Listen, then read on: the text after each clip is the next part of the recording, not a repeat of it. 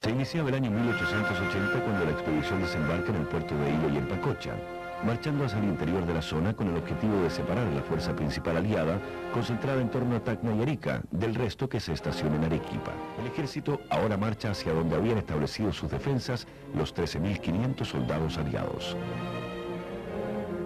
Con la derrota en la batalla del campo de la Alianza, termina la unidad de los aliados, retirándose los bolivianos definitivamente de la guerra.